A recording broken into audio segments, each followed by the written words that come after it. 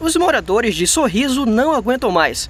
Há pelo menos um mês, uma onda de furtos em carros tomam conta da cidade. De acordo com informações da Polícia Militar, só na última semana, seis ocorrências foram registradas. O furto no veículo ele é um, ele é um crime, vamos dizer assim, né, um tanto quanto comum, né? Mas o modus operandi, como ele está sendo executado agora, ele não é comum. É, o que, que eu estou querendo dizer com isso, né? Esse fato de, vamos dizer assim, o infrator chegar e tentar e quebrar o vidro do veículo para subtrair, isso daí não era um tanto quanto corriqueiro para gente.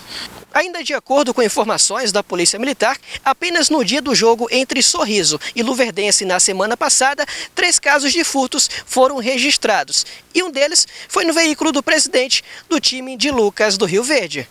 Por telefone, Elmute Lavisque, que está em Curitiba a trabalho, conta como foi o susto. Pegaram vindo do carro e, e aí roubaram a minha pasta. A sua pasta tinha o que dentro? Ah, já não esperei minha pasta, graças a Deus. Pasta foram operados só.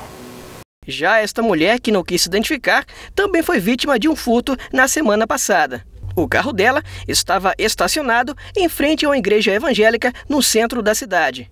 Documentos pessoais e cartões de crédito foram levados. Eu vi de longe já o vidro quebrado e já percebi que poderia ter levado a bolsa. Mas o estranho que me chamou a atenção é que a bolsa sempre havia escondido sempre embaixo do banco, né? E ela era escura e o vidro do carro também era escuro. E diz que eles têm um material especial para ver dentro do carro que tem, né, através do vidro.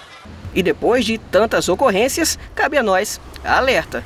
E a gente orienta a população né, a não estar tá deixando objetos de valores, né, é, né, vamos dizer assim, à vista né, dentro do veículo. Né? Uma medida bastante utilizada né, é, nas grandes cidades é você retirar aquilo que tem de valor e deixar ele dentro do porta-mala. Né? Nosso patrulhamento está sendo realizado nessas áreas onde a concentração de veículos, de estacionamento de veículos é maior. No entanto, a polícia não, não pode ser onipresente, né? ou seja, ela não pode estar em todo lugar ao mesmo tempo.